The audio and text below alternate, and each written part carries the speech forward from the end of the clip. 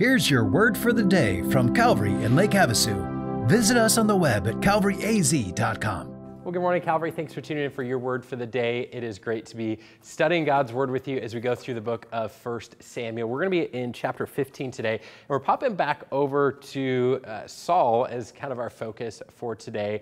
And, if you remember, we've been kind of popping back and forth looking at some different uh, individuals as these chapters focus on different ones. We saw that Saul was the king that uh, Israel had requested, and uh, that has not gone well so far. And a couple chapters ago, in chapter 13, we saw where uh, things had kind of gone off the rails a little bit, and Saul uh, chose to disobey God's instructions.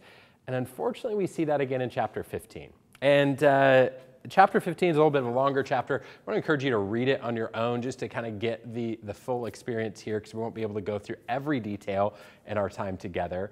But really what at the core of this is is that, uh, that israel needs to go to war against one of their enemies amalek is oppressing them and, and god gives instructions to samuel to say okay go before saul as a king and, and, and represent my instructions here. And so, so Samuel does so. They go before Saul, and, and Samuel says, Okay, we need to go to war. You need to go defeat Amalek. And the instructions are to completely eradicate them.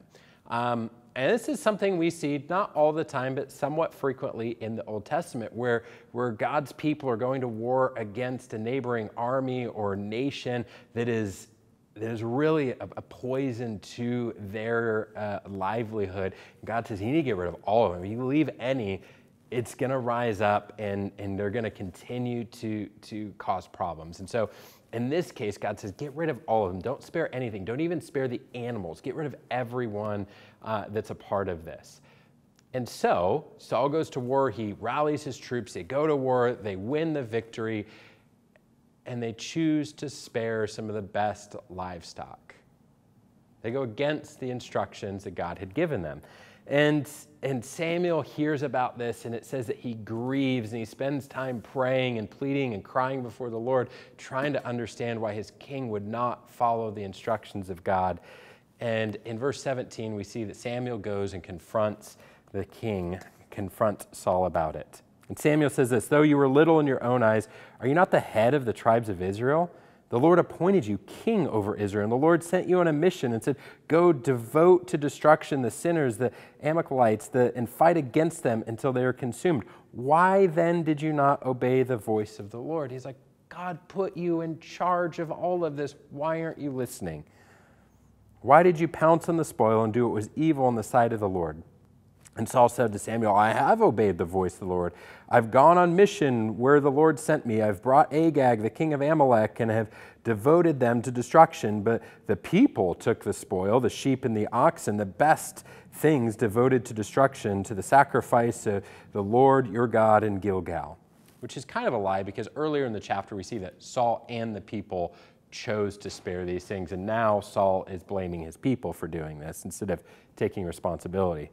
And Samuel says this Has the Lord, has the Lord as great a delight in burnt offerings and sacrifices as in obeying the voice of the Lord?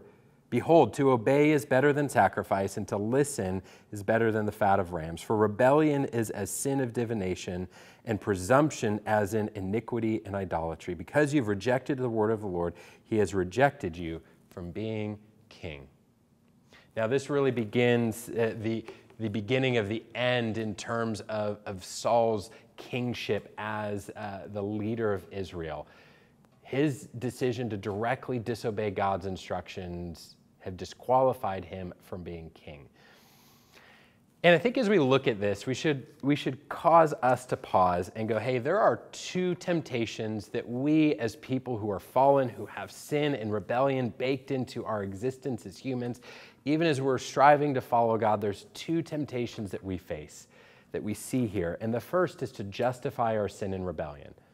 You know, you see uh, Saul do that. He goes, Oh, well, we just spared them so that we could offer them as sacrifices, and it's a good idea in this way, and I've obeyed in this way. And, and there's all this justification. It just makes me see that how often and how well we are at justifying our sin. We're such good salesmen for our own terrible decisions. But we have to be careful. We're not justifying and making excuses and rationalizations for things that don't honor God. Because in the end, He sees through all of that. He sees that our heart really isn't what we're claiming it to be. But secondly, I think the more dangerous thing is that when we get in the place of seeing God's instructions as suggestions rather than commands. I think about how, how Saul seemingly just took these as suggestions that he should do this and instead went, No, I'm going to choose what I want to do instead. And how often do we do that? How often do we look at God's word and say, Well, I understand your suggestion, but I'm going to take that under advisement and do what I want instead? I'm going to do my life, my decisions, my relationships, my finances, my thought life, my free time, my life my way, and just take God's ideas as suggestions and guidance rather than commands and instructions. But yet, God's word is perfect. God's instruction and wisdom is perfect and flawless. Why wouldn't we see this as the ultimate authority in our life? Because every time we submit to it, our life is blessed and enriched and every time we rebel against it, we build a house of cards that comes falling down at some point in the future. So today, let me encourage you don't be like Saul. Don't, don't see the wisdom and instruction of God and say, oh, I want to do what I want to do instead. But, in, but on the contrary, be obedient. As, as Saul uh, is confronted with this truth here, when Samuel says to obey is better than sacrifice, God wants our obedience our submission to His plan more than He wants some cool, good work that we can do for Him. So let me encourage you today see God's Word as the ultimate truth and authority in your life, not just a suggestion that you take under advisement. Have a great day, Calvary. We'll see you next time.